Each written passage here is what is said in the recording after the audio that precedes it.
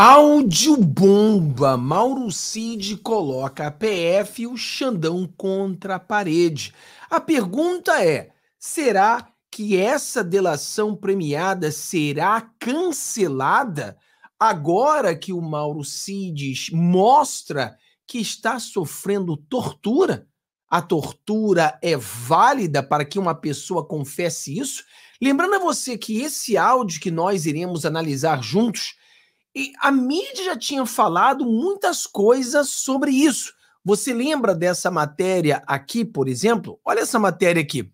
Você não lembra dessa matéria? Diz para mim se não era uma matéria que você já tinha ouvido falar. Veja, Cid da nova versão sobre delação. Nunca disse que Bolsonaro tramou o golpe. O Cid, nessa matéria que foi feita pela Veja também, ele dizia claramente que a Polícia Federal tinha interpretado ele de forma errada. Ele disse, sim, que havia tido uma reunião onde tinham os soldados, mas ele nunca disse em golpe. Aqui embaixo é onde ele fala o trecho. Então, veja o que ele falou e o que a polícia é, é, interpretou. Queria pressionar as Forças Armadas para saber o que estavam achando da conjuntura. O que soube que então o comandante da Marinha, o Almir Garnier, anunciou com o golpe de Estado, colocando suas tropas à disposição do presidente. Isso é o que a, a Polícia Federal entendeu, criou a narrativa, né? Então, esse é o passo dele. Apesar das gravidades do que está registrado, o tenente-coronel tem desabafado as pessoas próximas que trechos de seu depoimento foram encaixados em narrativas. Olha aqui, ó. Não sou traidor. Nunca disse que o presidente tramou um golpe. O que havia eram propostas sobre o que fazer caso se comprometesse fraude eleitoral. E não aconteceu nada. Então você vê que, mesmo lá atrás, ele já estava dizendo Olha aqui, outra matéria falando agora no Estadão. Só para você ter uma ideia que a gente vai botar o áudio aqui e analisar os áudios. Olha só isso aqui, ó. Mauro Cid afirma em áudio que inquérito sobre tentativa de golpe é narrativa pronta, diz revista. Vá no comentário para mim diz: você escutou o áudio que foi revelado ontem à noite? Vai lá no comentário, diz se você escutou ou não. Eu sou o Fábio aqui do canal Vida Gringa. Se você não deu o seu joinha, dê o seu joinha, compartilhe com seus amigos, joga esse áudio em todos os grupos, pessoal, porque estamos em momento crucial. Será que se a população brasileira tiver acesso a esse áudio, eles irão pressionar para que essa delação premiada seja cancelada? Por óbvio motivo? Vamos lá agora ao áudio.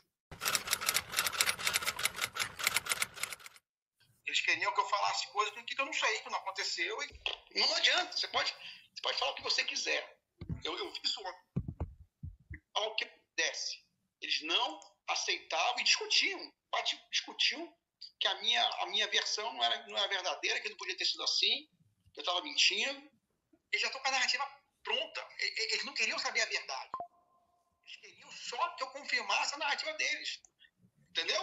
É isso que eles queriam. E toda vez eles falavam. Ó, oh, mas a sua colaboração, ó, oh, sua colaboração tá muito boa. Ó, oh, você vai ser. Tipo assim, ó, ele, ele até falou, ele falou, vacina, por exemplo, você vai ser indiciado por nove negócios de vacina, nove tentativas de falsificação de vacina, vai ser indiciado nessa associação criminosa e mais um termo lá. Ele falou assim, só essa brincadeira são 30 anos para você. Eu, eu, eu, eu, vou dizer, pelo que eu, o que eu sentia, eles já estão com a narrativa pronta deles, é só fechar e, e eles querem o máximo possível de gente para confirmar a narrativa deles. É isso que eles querem. Eles são a lei agora. A, a, lei já acabou há muito tempo. A lei é eles. Eles são a lei. O Alexandre Moraes é a lei. Ele prende, ele solta quando ele quiser, como ele quiser, com o Ministério Público, sem Ministério Público, com acusação, sem acusação. E quando eu, eu falei naquele encontro do, do Alexandre Moraes com, com, com o, o presidente, eles ficaram desconcertados. Desconcertados. Eu, eu falei, ah, o que, é eu faço? Eu não vou botar no papel, eu vou, vou me fuder. Mas o, o, presidente encontrou secretamente com Alexandre de Moraes na casa do Tiro Nogueira. E aí?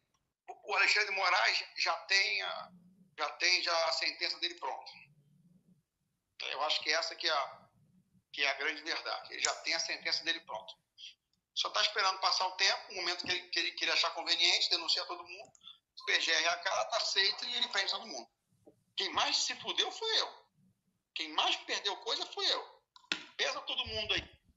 Ninguém perdeu carreira, ninguém perdeu vida financeira como eu perdi. Todo mundo já, já era quatro estrelas, já tinha atingido o topo. Né? O presidente teve pix de milhões, ficou milionário. Né? O, né? Tá todo mundo aí. Os políticos, o político é até bom essas porra, depois ele, se, ele consegue se eleger fácil. O único que teve pai, filha, esposa envolvido, o único que perdeu a carreira, o único que perdeu a vida financeira toda fudido fui eu. Se eu não colaborar, eu vou pegar 30, 40 anos, porque eu estou em vacina, eu estou em joia. Então vai, vai, entrar todo mundo em tudo. Então você vai somar as pernas lá, vai dar mais de 100 anos para todo mundo. É, assim, a cama está toda armada. E, e, e, ó, e vou dizer, os bagrinhos estão pegando 17 anos. Teoricamente, os mais altos quantos? Agora vamos escutar aqui e agora analisar. Né? Vamos junto com você agora, deixei você ouvir, porque muitas pessoas é, não tinham ainda escutado todos os áudios, né? Deve ter mais áudios vazados aí, mas todos, no caso, que foram vazados. Agora vamos juntos analisar, parar e questionar todas as falas dele. Vamos aumentar aqui assim? Vamos lá. Eles queriam que eu falasse coisas que eu não sei, que não aconteceu e Olha, eles queriam falar coisas que eu não sei que aconteceu. É aquela coisa, a mesma coisa que o Mauro Cid já vinha falando pra gente, que eles levantavam narrativas, como eu li a matéria para você. O Mauro Cid disse que nunca falou de golpe e eles falaram que ele disse golpe. Ele nunca disse isso. Então eles querem colocar palavras na boca dele. Ou seja, eles estão guiando o que ele tem que falar. É isso que ele está falando. Vamos lá. Não adianta. Você pode, você pode falar o que você quiser. Eu, eu vi isso ao que desce. Eles não aceitavam e discutiam. Discutiam que a minha, a minha versão não era, não era verdadeira, que não podia ter sido assim. Ou seja, olha só, cara. Então o Mauro Cid falava o que aconteceu eles não aceitavam. Não, não pode ter sido isso. Não, não, você está dizendo que não foi golpe, mas foi golpe sim. Você está dizendo que não foi tentativa de golpe, mas tem que ter tido. Ou seja, eles mudam o que o cara fala. Por isso que ele já pediu a transcrição, já pediu tudo para que seja revelado, porque eles estão mudando o que ele fala. Eu estava mentindo, eles já estão com a narrativa pronta. Eles não queriam saber a verdade. Eles queriam só que eu confirmasse a narrativa deles. Entendeu? É isso que eles queriam. E toda vez eles falavam: Ó, oh, mas a sua colaboração, ó, oh, sua colaboração tá muito boa. Ó, oh, você vai ser. Tipo assim, ó. Ele, ele até falou: ele falou, vacina, por exemplo, você vai ser indiciado por nove negócios de vacina, nove tentativas de falsificação de vacina, vai ser indiciado por associação criminosa e mais um termo lá. Ele falou assim: só essa brincadeira são 30 anos para você.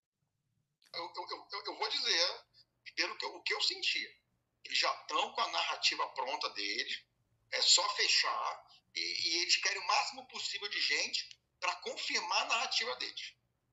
Bom, a gente vem falando isso aqui há algum tempo, né? Porque, como a própria pessoal da Globo disse, que eles querem prender o Bolsonaro e não vão prender o Bolsonaro agora, até que a população concorde basicamente com essa prisão. Aumentar a narrativa, mais pessoas fazendo a narrativa para que isso aconteça. É isso que eles querem. Eles são a lei agora. A, a lei já acabou há muito tempo. A lei é eles. Isso eu concordo, né? Nós temos hoje o jornalista português que foi detido pela Polícia Federal. Ali mostra claramente para todos nós que a polícia é uma polícia do governo, uma polícia do Lula. As perguntas foram perguntas políticas, foram perguntas que nunca deveriam ter sido perguntadas ali para uma imigração. Então, ali nós já vimos que realmente a lei faz o que eles querem, sem contar que o Alexandre de Moraes inventou aquela da agressão lá na Itália, ou seja, muitas mentiras, muitas narrativas que a gente tem visto. Eles são a lei. O Alexandre de Moraes é a lei. Concordo. Ele prende, ele solta quando ele quiser, como ele quiser, com o Ministério Público, sem Ministério Público, com acusação. É mesmo, exatamente. Várias vezes o Alexandre de Moraes ele agiu sem a ação da PGR. Ele, e muitas vezes ao contrário do que a PGR pediu a ele. Fato, até o Cleizão morreu porque a PGR pediu a soltura e ele negou. Não sem acusação. E quando eu, eu falei daquele encontro do, do Alexandre de Moraes com, com, com o, o presidente, eles ficaram desconcertados. Desconcertados. Aqui, pessoal, a gente precisa fazer uma análise mais detalhada sobre isso, né? Uma reunião onde o presidente Bolsonaro e o Alexandre de Moraes se encontraram. O que foi falado nessa reunião? A gente vai ter que pesquisar muito para a gente tentar entender o que eles falaram ali. O que, que você acha? Vai no comentário diz para gente se você tem alguma ideia do que foi falado entre o Bolsonaro e o Alexandre de Moraes. Será que isso aí não prova de que nunca houve uma tentativa de golpe? Não sei. Nós precisamos ver isso aí. Eu, eu falei, ah, quer que eu fale? Eu não vou botar no papel, eu vou, vou me fuder. Mas o, o, presidente encontrou secretamente com o Alexandre de Moraes na casa do Ciro Nogueira. E aí? O, o Alexandre de Moraes já tem, a, já tem já a sentença dele pronta. Aqui ele diz que o Alexandre de Moraes tem a sentença do Bolsonaro já pronta. Eu acredito que sim, não somente ele, mas todos os outros juízes. A gente vem falando isso aqui já tem tempo, né? Que eles têm a sentença pronta. O que eles querem fazer é que o Moraes não quer prender o Bolsonaro. Eles querem prender o bolsonarismo. Se você prende o Bolsonaro e o bolsonarismo cresce, a gente consegue eleger mais é, deputados, mais senadores, mais prefeitos, mais vereadores, então ele perdeu essa guerra. A vitória, o objetivo não é prender o Bolsonaro. O objetivo é prender o Bolsonaro CPF, a ideia Bolsonaro. E ele não está conseguindo fazer isso. Então, por isso que ele ainda não prendeu o Bolsonaro, porque ele precisa disso, de várias coisas que aconteçam, para que ele não possa todo mundo ver que é uma ditadoria. Então ele vai precisar de mais e mais narrativas colaborando com essas narrativas, né? Aquela coisa, por exemplo, o cara faz uma delação, aí ele pressiona a pessoa, a pessoa vai concorda com a delação, por quê? Porque são vários com medo, vários sofrendo torturas, vários falando a mesma coisa, porque muitos dá uma impressão de que muitos é algo verdadeiro, entendeu? É uma impressão mentirosa, mas como a gente fala para você, né? É o que a gente está vendo hoje. Vamos lá. Eu acho que essa que é, a, que é a grande verdade. Ele já tem a sentença dele pronta. Só está esperando passar o tempo, o momento que ele, que ele, que ele achar conveniente, denunciar todo mundo. Eu não acho que o, o momento conveniente que ele diz aqui é quando ele consegue enganar as pessoas, fazer com que as pessoas achem ou pensem que o processo legal foi feito, que não houve nada de irregularidade. Por exemplo, agora. Agora o próprio Mauro Cid está mostrando que todo o processo está sendo ilegal. A pergunta é: vai ser cancelada essa, essa delação? O que vai acontecer? Será que vai ser cancelada? Porque tem que ser cancelada, porque o que a gente está vendo aqui é um absurdo. Mas vamos lá. O PGR a cara tá aceito e ele prende todo mundo. Ele prende todo Quem mundo. Quem mais se fudeu foi eu. Quem mais perdeu coisa foi eu. Pesa todo mundo aí. Foi o que ele falou, né? A investigação vai ser feita. Depois de toda essa narrativa, eles vão pegar e entregar para a PGR, a PGR vai entregar para o Alexandre de Moraes, e aí vai começar o Bolsonaro como réu. Eles vão entrar nesse trabalho de investigação, onde Bolsonaro já está condenado por todos os juízes. Então, mais ou menos esse é o plano. Não fez ainda, como expliquei para você, que não seria uma vitória para ele. Ninguém perdeu carreira, ninguém perdeu vida financeira como eu perdi todo mundo já, já era quatro estrelas, já tinha atingido o topo, né? o presidente teve pix de milhões, ficou milionário, né?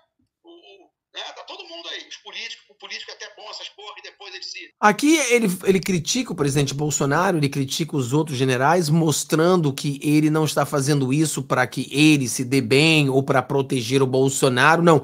Ele simplesmente estava falando com alguém, não sei com quem é, e ele simplesmente estava desabafando, né, falando toda a verdade. E aqui ele critica tanto o Bolsonaro, quanto o Alexandre de Moraes, quanto a Polícia Federal. Todos são criticados. Ele consegue se eleger fácil. O único que teve pai, filha, esposa envolvido, o único que perdeu a carreira, o único que perdeu a vida financeira toda fudido fui eu. Galera, quando você vê ele falando, o único que tem pai, filha, esposa, você vê claramente uma tortura.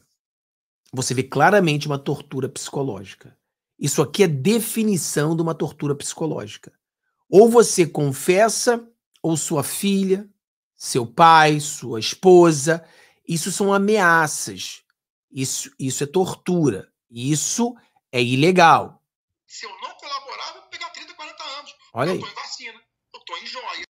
Então vai, vai entrar todo mundo. Então você vai somar as pernas lá, vai dar mais de 100 anos para todo mundo. É, assim, a cama tá toda armada. E, e, e, ó, e vou dizer, os bagrinhos estão pegando 17 anos. Teoricamente, os mais altos vão pegar quantos? Sei lá. Sei lá. Olha só isso aqui que eu tava vendo, pessoal, pra você ter uma ideia quando se fala de tortura, né? Tava só pra você ver aqui rapidinho, quando a gente fala da questão da tortura. Eu acho que isso aqui. Olha só isso aqui. A letra tá muito pequenininha, vai ser difícil para que você veja, mas vou tentar aumentar um pouquinho. Olha aqui, ó. Então, o presidente da República assinou isso aqui em lei, né? Saber qual foi o presidente, eu não li aqui quando foi. Foi em 1997. Uh, constranger alguém com o emprego de violência ou grave ameaça causando-lhe sofrimento físico ou mental. Aqui é constitui crime de. O que constitui crime de tortura? Vamos entender a Constituição brasileira. Fábio, na, na lei brasileira, o que constitui crime de tortura? Vamos lá. Constranger alguém com emprego de violência ou grave ameaça. Grave ameaça. Será se a ameaça é grave quando você diz que vai fazer algo com a filha de uma pessoa? Causando sofrimento físico ou mental eu acho que aqui no primeiro parágrafo já cai. A. Com o fim de obter informações, declaração ou confissão da vítima ou de terceira pessoa. Olha isso aí. Não é para isso que está sendo feito? Para provocar ação ou omissão da natureza criminosa, em razão de, de discriminação racial ou religiosa. No caso, esse não teve. Aqui o 2. Submeter alguém sob sua guarda poder ou autoridade com emprego de violência ou grave ameaça a intenso sofrimento físico ou mental, como forma de aplicar castigo pessoal ou medida de caráter preventivo. Pena reclusão de 2 a 8 anos. Então você vê que isso aqui fala sobre, por exemplo, ó, na mesma pena incorre quem submete pessoas presa ou sujeita à medida de segurança a sofrimento físico ou mental, por intermédio da prática de ato não provisto de lei ao é, não resultante da medida legal. Então você vê que a, o que ele está falando ali, o sofrimento que ele passa, as ameaças sobre sua família, não seria, no caso, uma óbvia, óbvia é tortura psicológica? E se é tortura psicológica, não deveria toda a, a, a delação dele ter sido jogado fora, caído por terra, não aceita, mas é o que a gente está vendo, pessoal. É bombástico essas falas, são falas importantes, são falas que têm que ser analisadas. Vamos ver o que vai acontecer.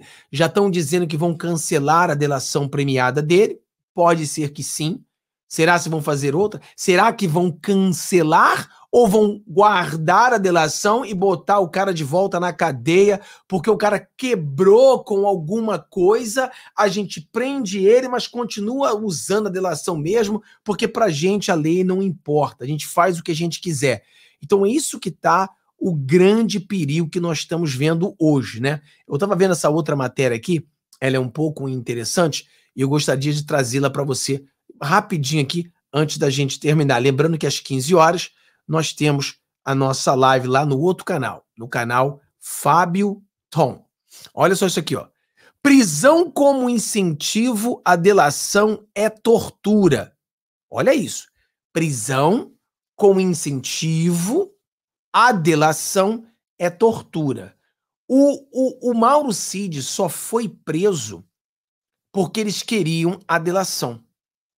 Ele só foi preso por isso, porque a investigação, ninguém estava investiga investigando carteira de vacina, que estavam investigando o Bolsonaro. encontraram comunicações nos telefones, chegaram até o cartão de vacina.